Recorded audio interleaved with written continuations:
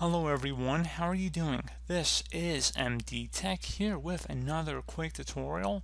In today's tutorial, I'm going to show you guys how to resolve or remove this app is preventing shutdown message on your Windows 10 computer. So this should be a pretty straightforward tutorial and without further ado, let's go ahead and jump right into it. So before we begin this tutorial, I would just first, if you're only coming across this issue on once or every so often, I would suggest just considering not following this tutorial and just closing out of any open programs you have because the purpose of this notice is to prevent you from accidentally shutting down your system which could have unsafe data or whatever programs are being abruptly shut down incorrectly.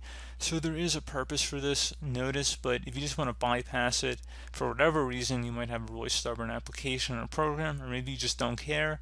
In today's tutorial I'm going to show you guys how to turn that off.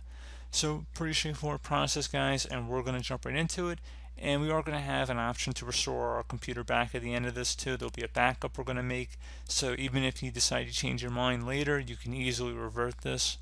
So we're going to start by opening up the start menu. Type in regedit, R-E-G-E-D-I-T. Best match should come back with the result of registry editor. You want to right click on that and select run as administrator. If you are prompted with a user account control screen, select yes. And now, like I said before we begin, we are going to create a backup. So if anything went wrong, we could easily restore it back at a later date. And in order to create the backup, you would select the File tab and then Export. Save it to a convenient location on your computer. File name, date that you're making the backup is what I would normally suggest in most cases. And export range should be kept to at all. And if you ever need to import it back in you would just select file and then import. So pretty straightforward. And now we're ready to begin. So go ahead and double click on the HK current user folder. Do the same thing now for the control panel folder.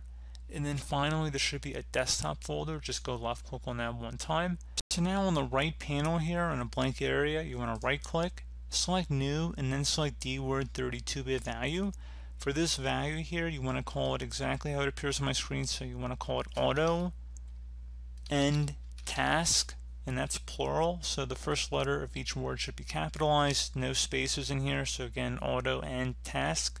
Hit enter on your keyboard to save that. And now double click on it. In this value data field, delete the zero, type the number one, make sure base is hexadecimal first, and then type the number one in the value data field.